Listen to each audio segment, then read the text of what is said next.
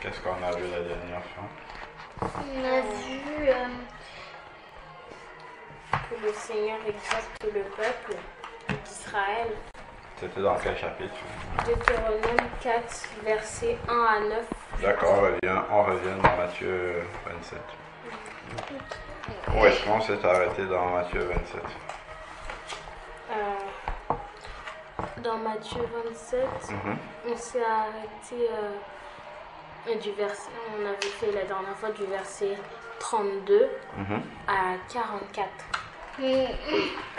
Alors, du verset 32 au verset 44.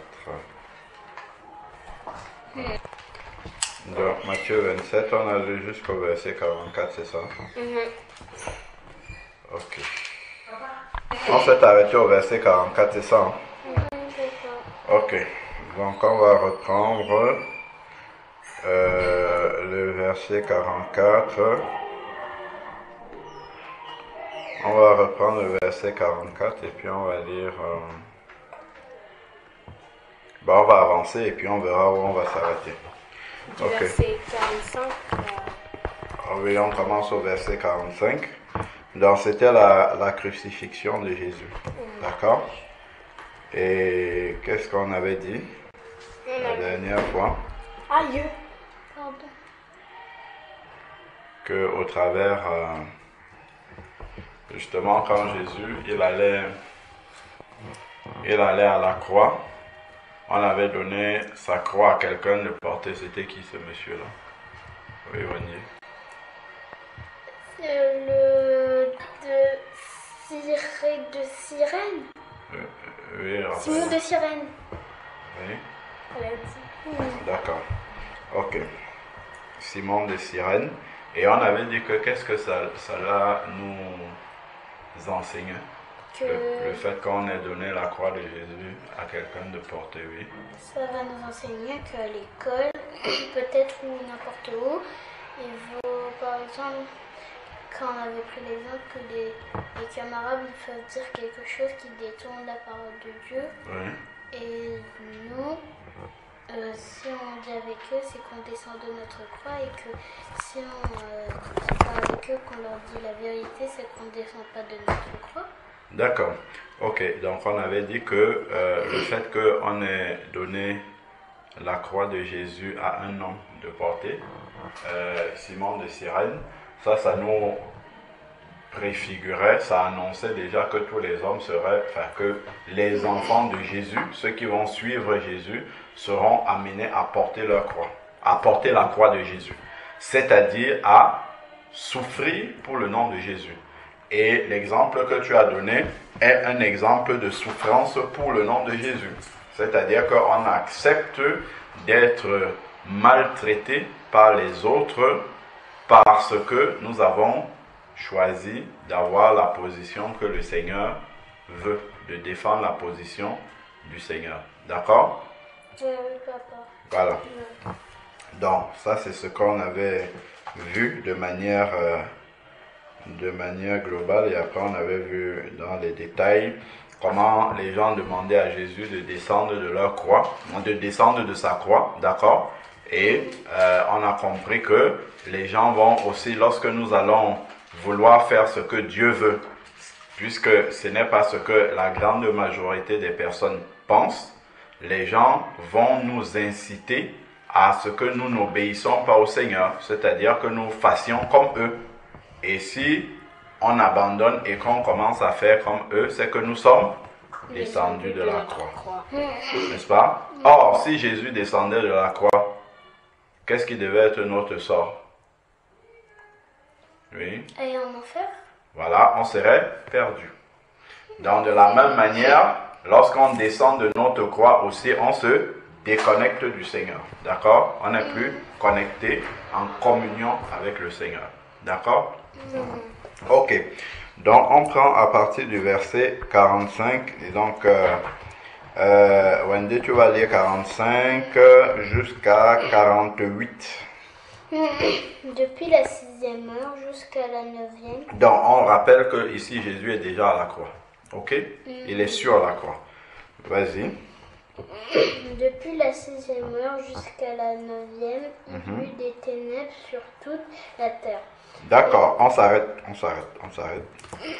Donc, depuis la sixième heure jusqu'à la neuvième heure, sixième heure, septième heure, huitième heure, neuvième heure, il y avait des ténèbres sur la terre. Pourquoi il y avait des ténèbres sur la terre selon vous? Oui, Raphaël. hein?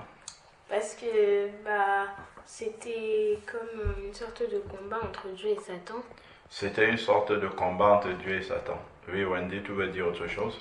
Voulais dire que c'est parce qu'en fait Dieu il était plus en train de vivre et Dieu il est puissant. Du coup, quand il n'y a pas Dieu, c'est les ténèbres.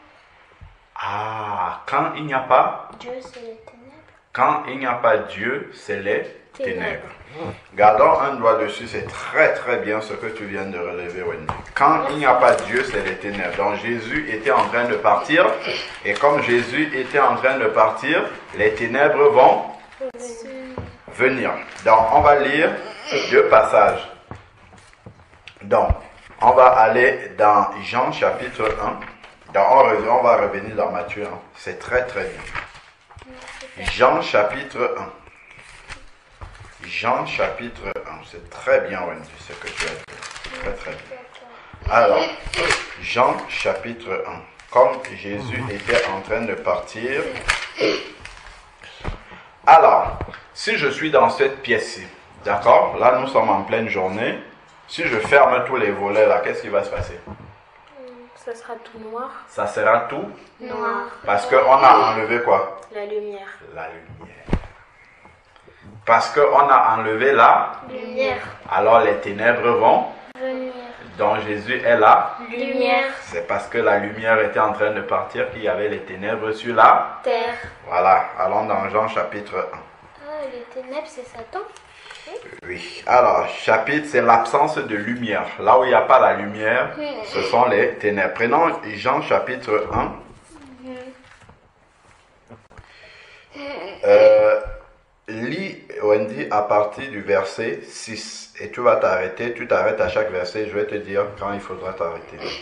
Jean chapitre 1 à partir du verset 6. Au commencement était la parole. Non. Jean chapitre 1 à partir du verset 6.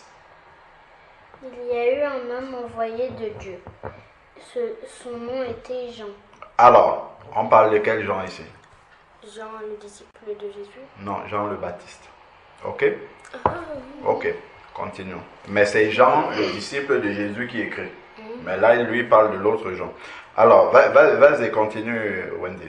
Il vint pour servir de témoin pour rendre témoignage à la lumière afin que tout crusse par lui. D'accord Lis le verset 8. Il n'était pas la lumière, mais il fut envoyé pour rendre témoignage à la lumière. D'accord Donc, Jean le Baptiste est venu pour rendre témoignage à la lumière. Il n'était pas lui-même la lumière, mais il est venu rendre témoignage à la lumière. Jean est venu rendre témoignage à qui à, les- aux disciples, euh, à ceux qui ne connaissaient pas la lumière? Oui, non, mais là, rendre témoignage, ça veut dire dire du bien d'eux. Voilà. Il est venu dire du bien de qui? Jean. Oui, Raphaël. De Jésus. Voilà. Donc, il est venu, quand on dit qu'il est venu rendre témoignage à la lumière, c'est qu'il est venu rendre témoignage à Jésus. Donc, si on regarde dans Matthieu 3, on va voir que Jean rendait témoignage à Jésus. Alors, si nous regardons dans Matthieu chapitre 3, gardons un doigt dans Jean 1, on va revenir. Dans Matthieu chapitre 3, Ça, c'est au début, on parle de Jean-Baptiste, ok? Donc, euh, euh, au verset 1, en ce temps-là parut Jean-Baptiste, il prêchait dans le désert de Judée, ok? Donc là, on nous parle de Jean-Baptiste, et nous allons voir que... euh,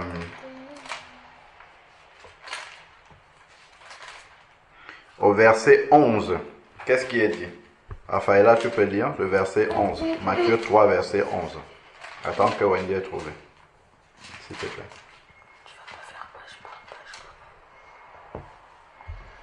Alors, Matthieu 3, verset 11. Moi, je vous baptise d'eau pour vous amener à la repentance. Mais celui qui vient après moi est plus puissant que moi, et je ne suis pas digne de porter ses souliers. Lui, il vous baptisera du Saint-Esprit et de feu. Voilà. Verset 11. Donc, il vous baptisera du Saint-Esprit et de feu. Donc, il parle de Jésus. OK? D'accord? Et juste après, au verset 13, Jésus est arrivé. D'accord? Et on va voir aussi l'autre chapitre où Jean va dire, voici l'agneau de Dieu qui ôte le péché du monde. Donc, et il parlait de, de Jésus. Voici l'agneau de Dieu qui ôte le péché du monde. Et à partir de ce moment-là, euh,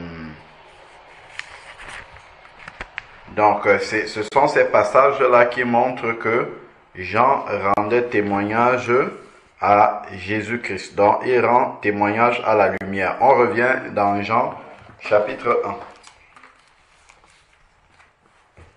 Jean chapitre 1, verset 9 maintenant. Randy, tu continues. Je crois que c'est toi qui lisais. Verset, verset 9. Jean. Jean chapitre 1, verset 9. Cette lumière était la véritable lumière qui éclaire tous le- les hommes, tout, l'homme, tout homme venant de le- du- dans le monde. Reprends le verset 9, s'il te plaît, tout doucement. Cette lumière était la véritable lumière qui éclaire tout homme. Voilà. Donc, c'était la véritable lumière qui, en venant dans le monde, éclaire tout homme. Ok, vous avez vu comment la, lumière éclaire.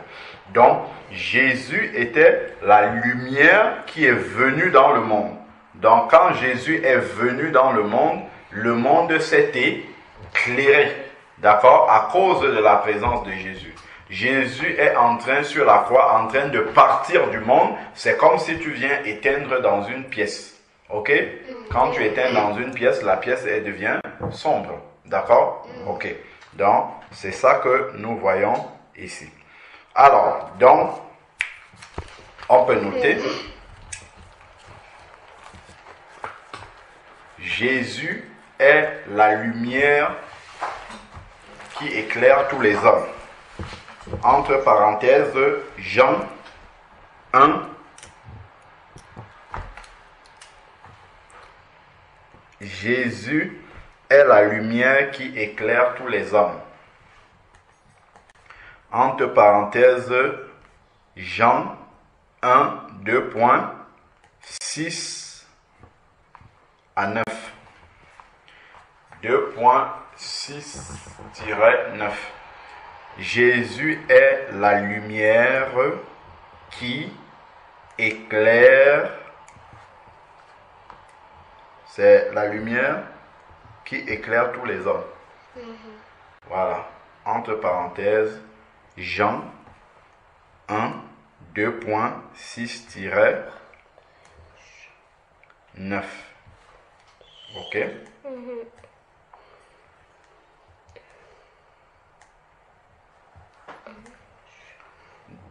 Entre parenthèses, Jean 1, 2.6-9. Lorsque Jésus, c'est bon, donc euh, la lumière qui éclaire tous les hommes. Voilà, point. Ici, maintenant, quoi Oui, donc euh, euh, attendez. Lorsque Jésus est venu dans le monde, le monde a été éclairé. Dans... On, va, mettre le monde entier a été éclairé par sa présence. La suite c'est le monde entier a été éclairé par sa présence. Le monde entier a été éclairé par sa présence.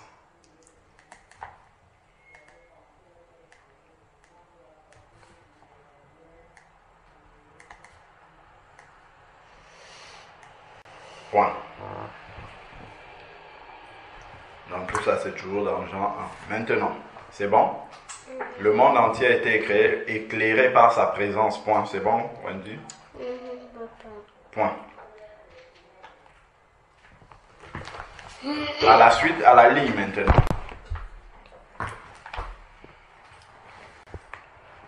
Là, on va revenir dans Matthieu 27. Lorsque Jésus s'est retiré du monde, lorsque Jésus s'est retiré du monde par la mort de la croix, lorsque Jésus s'est retiré, tu peux poser la question si tu n'as pas compris, je suis en train de Comment le dire. Oui, tu me demandes. R-E, c'est- comme ça se prononce. Re, R-E-T-I, reti, ré, R-E, accent aigu. Lorsque Jésus s'est retiré du monde, virgule, lorsque Jésus s'est retiré du monde, virgule, la lumière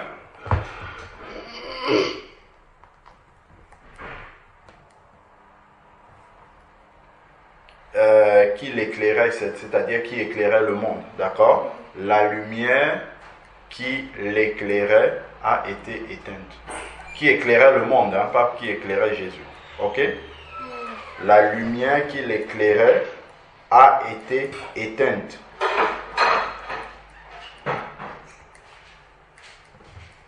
la lumière qui l'éclairait ou qui éclairait le monde a été éteinte.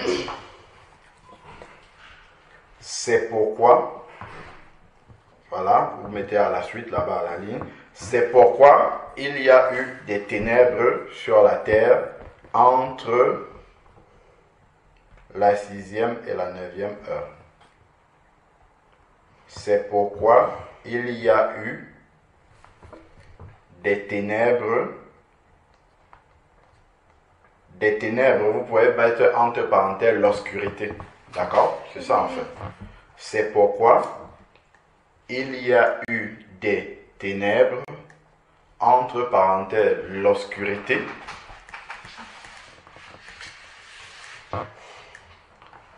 Sur la terre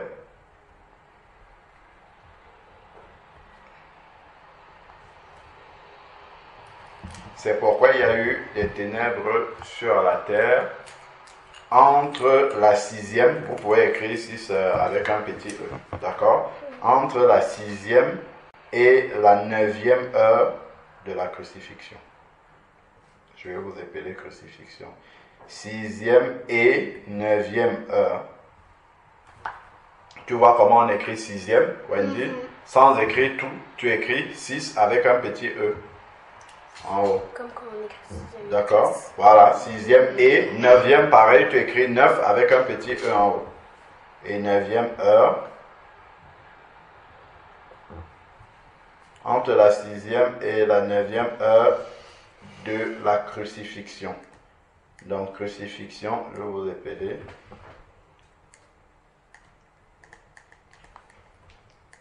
Crucifixion. Ok, ben c'est bien Raphaël, hein? on va avoir besoin. Wendy, tu sais écrire crucifixion? C-R-U, cru. C-I-C, cru, si. Moi, je sais. C'est bon. Moi, je sais, c'est j'ai Fiction. déjà écrit. Ah oui, bah, euh, fais-moi voir alors. Ah non, non, non, c'est pas avec un S. C'est avec Euh. euh, un X, je crois. Euh, oui, crucifixion. Attends. Il y a marqué le mot crucifixion. Alors, Ah oui. Mathieu 24, crucifix. c'est bon? Que c'est crucifixion avec un C. C-I-F-I-C.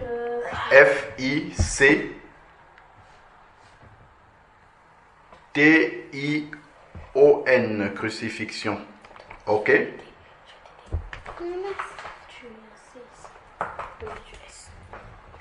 Crucifixion, c'est bon? Voilà, entre la sixième et la neuvième heure de la crucifixion. Donc, euh, euh, donc on met entre parenthèses, c'est Matthieu 27, verset 45.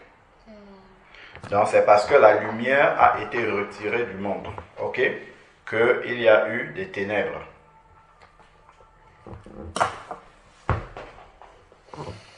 C'est bon? Maintenant, si l'on applique ça à nous, quand Jésus a été retiré de la terre, quand il est mort, donc ça c'est, on prend sur ce que nous on connaît, il est resté combien de jours dans la terre? Oui. Trois jours. Voilà. Donc Jésus est resté, c'est bon, Wendy.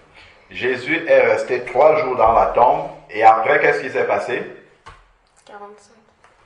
Donc, c'était Matthieu 27, entre verset 45, c'est ce qu'on vient de lire là. Entre parenthèses. Alors, donc, Jésus est resté trois jours dans le tombeau et après il est Bah. ressuscité. Et donc, quand il est ressuscité, il a commencé à répandre l'Esprit Saint sur les disciples, donnant naissance à l'Église. Donc, en fait, qu'est-ce qu'il a fait? Quand euh, il est ressuscité, il était encore présent euh, sur la terre, mais il n'était plus dans le monde. C'est-à-dire qu'il était passé déjà dans l'au-delà, d'accord? Il apparaissait simplement au milieu de ses disciples. C'est pour ça que ses disciples ne le voyaient plus tous les jours, d'accord? Parce qu'il était déjà... Euh, il avait déjà retrouvé sa place dans le ciel. Donc maintenant, qu'est-ce qui se passe? C'est qu'il a allumé des petites lumières, pas des petites, il a allumé d'autres lumières au travers de ses disciples, d'accord? Et nous aussi, nous sommes des lumières que Jésus a allumées pour que le monde continue à être éclairé, même si lui n'est plus là. Ok? Mm. Donc nous, nous sommes les lumières du Seigneur. D'accord? Mm. Parce que la grande lumière a été retirée lorsque Jésus est parti, mais après sa résurrection, il a allumé les lumières que nous sommes pour que le monde continue à être éclairé. Voilà. Nous sommes la lumière du monde. Alors, on va regarder le verset où le Seigneur le dit que nous sommes la lumière du monde et le sel de la terre. Prenons Matthieu chapitre 5.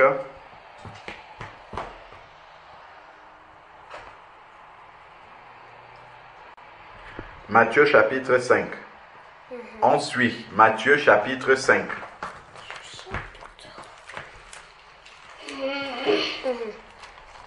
Matthieu chapitre 5, verset 14. Raphaël, tu lis jusqu'au verset 16. Matthieu 5, verset 14 à 16. Raphaël, tu lis. dans Zacharie, là. Matthieu chapitre 5. Matthieu chapitre 5, verset 14 à 16. Vas-y. Vous êtes la lumière du monde. Une ville située sur une montagne ne peut être cachée et on n'allume pas une lampe pour la mettre sous le boisseau, mais on la met sur le chandelier. Et elle éclaire tous ceux qui sont dans la maison. Et elle éclaire tous ceux qui sont dans la maison. Très bien. Verset 16.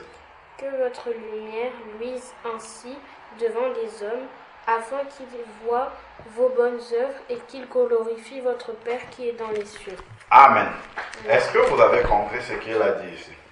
Il a dit que pour éclairer les hommes ici, que votre lumière brille ainsi devant les hommes, afin qu'ils voient vos bonnes œuvres et glorifient votre Père qui est dans les cieux. Donc, nous sommes des lumières comme Jésus-Christ Et pour éclairer le monde, c'est au travers de nos bonnes œuvres. Au travers de notre différence, nous montrons comment le Seigneur veut que nous vivons, que, que les hommes vivent sur la terre, d'accord? Et c'est comme ça que nous montrons, nous éclairons les autres au travers de nos bonnes œuvres. Vous notez? Aujourd'hui, Oh, euh, oui, vous pouvez sauter une ligne. Aujourd'hui, les enfants de Dieu sont la lumière du monde. On écrit, aujourd'hui, les enfants de Dieu sont la lumière du monde. Entre parenthèses, Matthieu chapitre 5, 14, 2.16. Aujourd'hui, les enfants de Dieu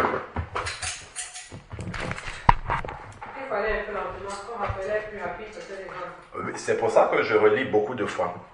Aujourd'hui, c'est A A U J O U R D apostrophe H U I. Aujourd'hui, les enfants de Dieu sont la lumière du monde entre parenthèses, aujourd'hui, les enfants de Dieu sont la lumière du monde. Entre parenthèses, Matthieu 5, 2 points, 14-16. Aujourd'hui, les enfants de Dieu sont la lumière du monde.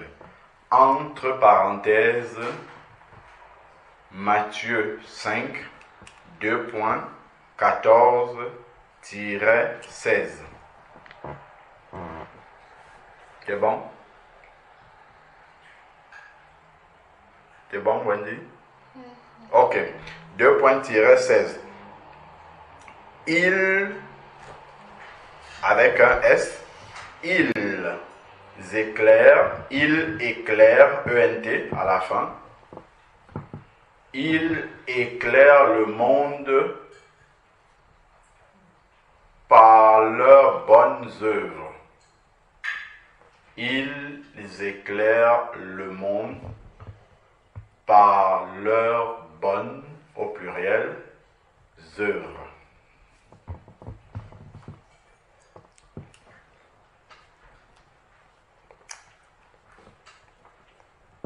Ils éclairent le monde par leurs bonnes œuvres.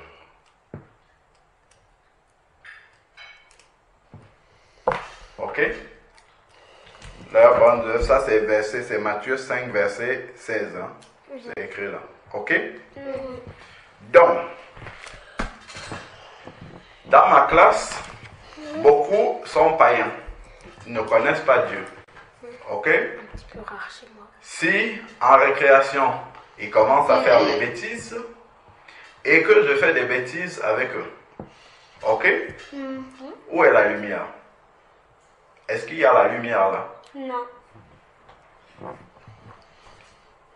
Donc, je suis une lumière qui est éteinte. Je suis aussi comme les ténèbres. D'accord?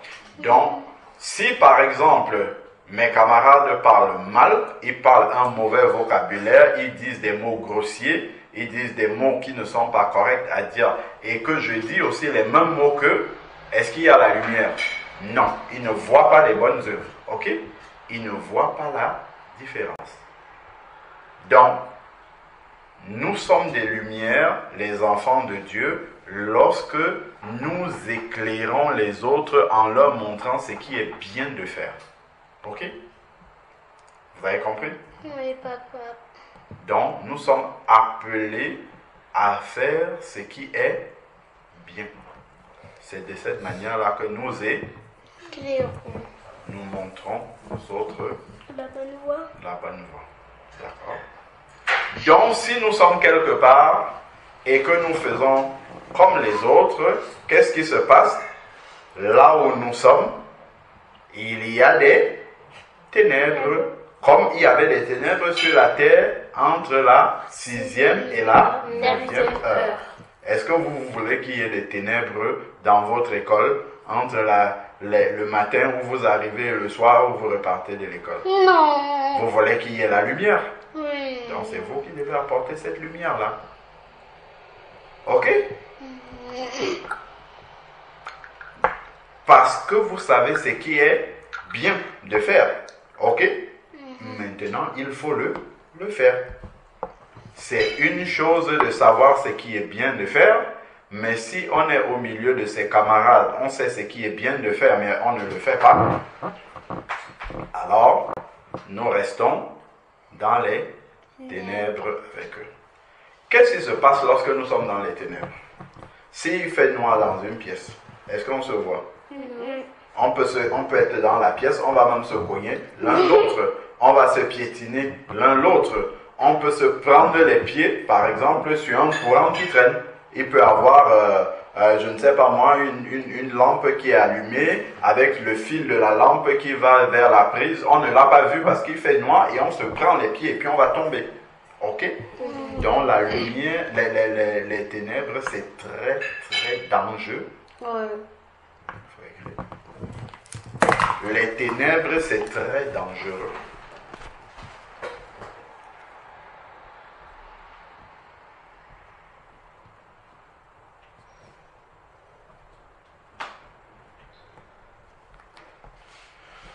Vous avez déjà été dans une voiture dans la journée? Oui. Est-ce que vous avez déjà été dans une voiture la nuit? Oui. C'est plus dangereux de conduire le jour ou bien la nuit? Le, La nuit. nuit. Euh, de la, lune, la nuit. Parce qu'il y a des obstacles qu'on ne voit pas. Ok C'est les, dans les ténèbres, c'est toujours plus dangereux. Les ténèbres sont très dangereux. Ok Donc, c'est nous, nous devons éviter d'être dans les Ténèbres. Voilà. Et pour cela, nous devons manifester les bonnes œuvres que le Seigneur nous enseigne dans sa Parole. dans, à la maison, nous devons obéir aux parents. À l'école, nous devons obéir aux consignes du maître. Tant que, d'accord, c'est euh, euh, euh, correct de le faire. Nous devons obéir aux tatas, aux tontons, aux personnes euh, adultes, ainsi de suite. Ok? Nous ne devons pas encourager ce qui est mauvais quand les autres veulent faire euh, ce qui est interdit nous devons leur expliquer que ce n'est pas bien. Et même si eux, ils veulent le faire, on les laisse le faire, mais nous, nous ne le faisons pas. D'accord? Comme ça, ils auront un exemple de ce qui est bien de faire. OK? Voilà. Et d'ailleurs, en général, le Seigneur permettra peut-être qu'ils soient punis. Et lorsqu'ils seront punis et vous, vous ne serez pas punis, ils verront qu'est-ce qui était bien de faire. OK? Ils verront quelle la lutte et, mais lorsque vous allez faire cela, il y aura toujours des critiques. Vos camarades vont vous critiquer, ils vont, voilà, euh, ils vont dire que vous n'êtes pas courageux, que vous n'êtes pas courageuse, que vous n'êtes pas ceci, cela. Mais vous, vous devez toujours vous demander qu'est-ce que Dieu, il dit? Ok? Ce n'est pas ce que la ciné dit qui est important. Ce n'est pas ce que, je ne sais pas qui, dans votre école, Lilia dit qui est important. Si Dieu dit que tu es belle, c'est que tu es belle. belle. Voilà. Donc, peu importe ce que Lilia dit, tu es mal stressé, tu es mal... Dieu a dit que je suis une belle créature. Et c'est ça qui est la vérité. Point. C'est tout. D'accord? C'est ça qui est la vérité. Et c'est comme cela qu'on montre la lumière aux gens. D'accord? Parce que Dieu nous a créé belles, mais une copine va venir dire, ah ben toi, tu il va, elle va utiliser en plus un mot qui est grossier. Elle va dire que toi, tu n'es pas belle, toi, tu es ceci, toi, tu es cela. Tu dis, moi, je suis belle parce que Dieu m'a créé belle. Voilà, point. Et à partir de là, tu lui montres la, la lumière. Tu lui dis, tu ne dois pas injurier les personnes. D'accord? Voilà. Ok? Tu ne dois pas injurier, tu ne dois pas m'injurier parce que je suis belle et toi-même aussi tu es belle. Ok? Voilà. Et puis là, ben là, il va se taire. Et si elle continue, tu la quittes et puis tu vas avec d'autres. Ok?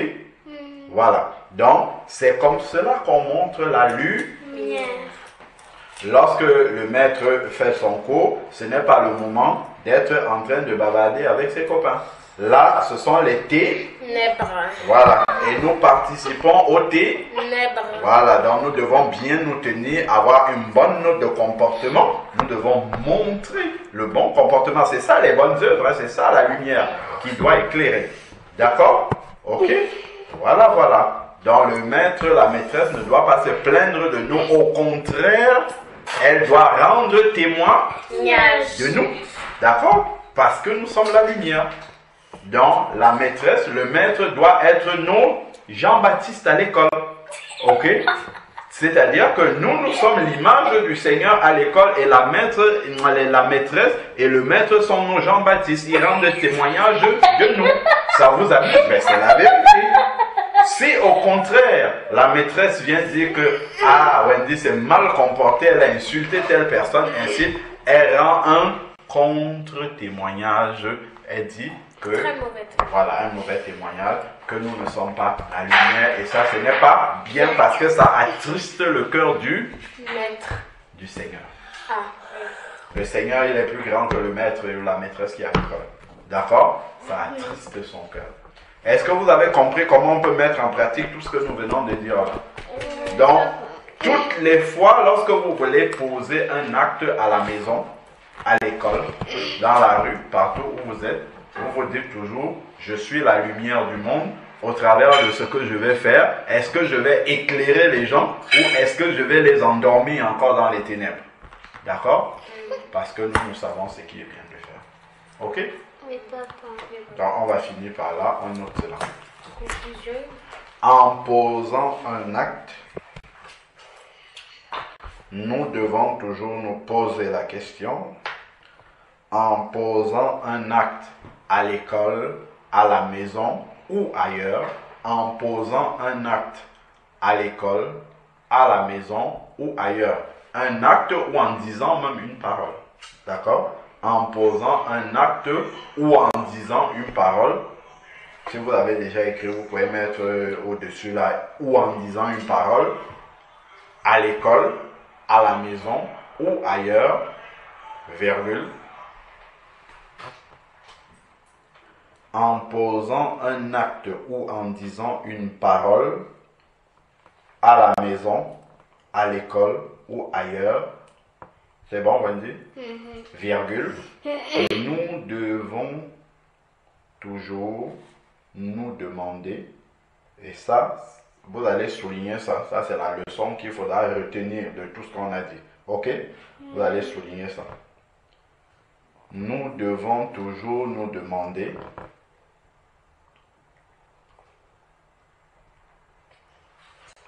nous devons toujours nous demander si nous devons toujours nous demander si cela va éclairer les autres. Nous devons toujours nous demander si cela va éclairer les autres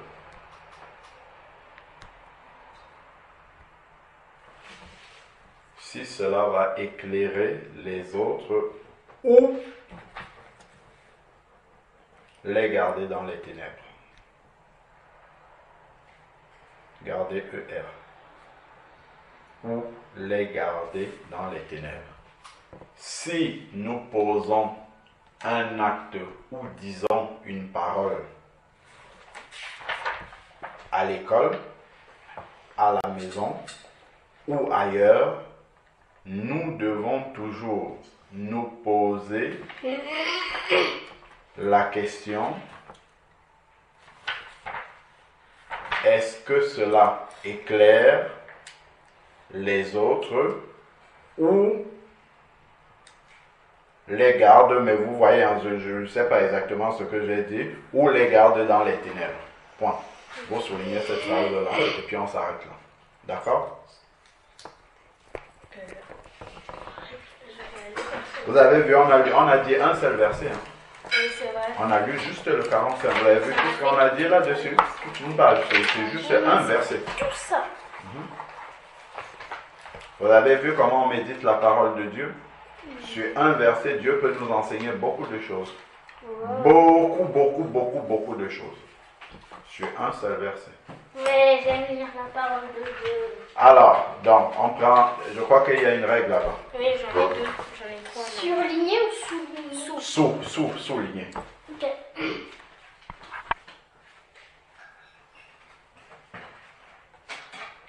Donc, on souligne la conclusion. Je crois que désormais, on va souligner ce qui est pour nous-mêmes. D'accord? Ce que nous devons appliquer.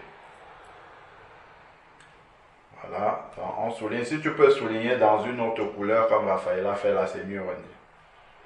Et je te prêterai mon stylo après. Et si tu as un stylo d'une autre couleur, tu peux souligner ça. Voilà, tu soulignes. Et après, c'est bon. Tu choisis la couleur que tu veux, tu soulignes. Et puis, c'est bon. Oui, non, mais c'est parce qu'elle Vas-y. avait vert et elle avait souligné en vert. Très bien. En dessous, hein, tu soulignes en dessous.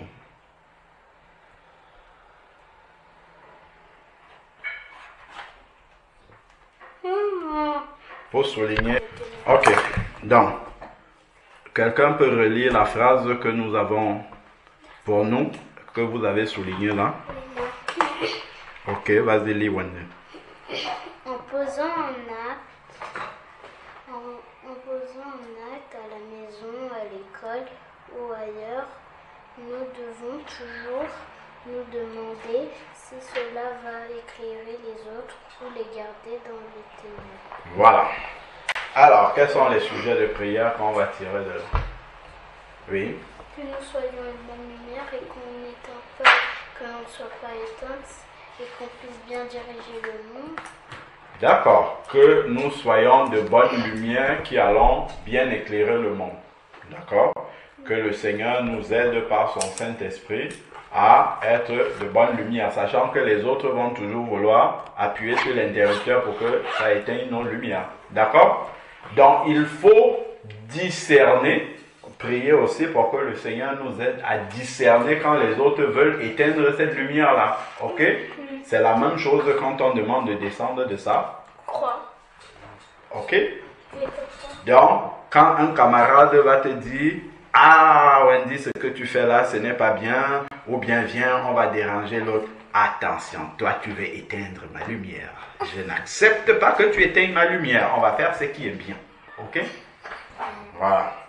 Donc, on a déjà deux sujets de prière, que le Seigneur nous aide à bien éclairer le monde et qu'il nous aide à discerner discerner lorsque euh, euh, euh, les autres veulent éteindre notre lumière et que l'on n'accepte pas. D'accord Oui, papa. Ok. Qui va prier Voilà, chacune de vous prie pour un de ces deux sujets. Allez-y. Donc il faut prier pour euh, que notre lumière ne s'éteigne pas et que euh, Priez pour que l'on éclaire bien le monde partout où le Seigneur permette que nous sommes. On a dit à l'école, à la maison ou ailleurs que le Seigneur nous aide à bien éclairer et ensuite qu'il nous aide à discerner lorsque quelqu'un veut éteindre notre lumière. D'accord? Voilà, pour qu'on n'accepte pas qu'il éteigne notre lumière. Donc, Wendy, toi, tu, bon, vous priez tel que le Seigneur vous met à cœur. Allez-y. Seigneur, je prie pour qu'on soit des bonnes lumières Amen. et qu'on puisse bien éclairer le monde, Amen. et qu'ils puissent nous prendre comme modèle et qu'ils puissent euh, faire comme nous. Je te remercie pour le temps que tu nous as donné de passer en ta présence. Amen. Au nom de Jésus-Christ, Amen. Amen. Seigneur, merci pour Seigneur la parole que nous venons d'entendre. Alléluia. Fais qu'elle puisse rester dans notre cœur, qu'elle ne s'envole pas. Et que Seigneur, qu'on puisse la mettre en pratique. Aide-nous, Seigneur, pour qu'on puisse être des bonnes lumières qui éclairent bien, Seigneur, le monde. Et Seigneur, fais que, que on puisse discerner euh, Ceux, Seigneur, qui veulent éteindre nos lumières et que nos lumières ne s'éteignent pas. Au nom de Jésus-Christ. Amen. Amen. Éternel Père des armées, nous voulons glorifier ton Saint-Nom encore pour euh, ta parole qui est une lampe à nos pieds, qui nous éclaire et qui nous montre comment nous devons vivre pour te glorifier. Père, nous voulons te demander pardon pour toutes les fois où nous n'avons pas été de bonne lumière, où nos lampes, Seigneur Dieu Tout-Puissant, ont failli euh, à sa mission d'éclairer, Seigneur Dieu Tout-Puissant. Pardonne-nous pour toutes les fois où nous avons gardé les personnes dans les ténèbres en agissant de la mauvaise façon comme elles. Seigneur Dieu Tout-Puissant, viens encore et soutiens-nous par ton Saint-Esprit. Cela n'est pas toujours simple, Seigneur Dieu Tout-Puissant, mais nous avons cette confiance que tu es avec nous tous les jours jusqu'à la fin du monde. Soutiens-nous par ton Esprit, Seigneur Père, afin que nos lumières éclairent toujours, Seigneur Dieu Tout-Puissant, et que, Seigneur Dieu, nos lampes soient toujours allumées, Seigneur Père éternel, et que nous continuons, Seigneur Dieu, à éclairer ce monde tel que tu nous as euh, euh, confié la mission, Seigneur Dieu Tout-Puissant. Que ton nom soit béni encore, Seigneur Dieu, pour tout ce que tu fais. Que toutes ces paroles puissent être gardées dans nos cœurs, dans le cœur de ces enfants, Seigneur Père, et ne s'envolent pas. Que ces paroles soient imprégnées en elles, en nous, Seigneur Dieu Tout-Puissant, autant et aussi longtemps que notre pèlerinage terrestre durera. Que toute la gloire te revienne d'éternité en éternité. Au nom de Jésus-Christ. Amen. Amen. Vous vous souvenez des vierges folles et des vierges sages? Elles avaient des lampes aussi, non? Mhm. Lesquelles sont allées vers le Seigneur quand il est revenu, quand on a dit voici l'époux On avait lu dans Matthieu 25.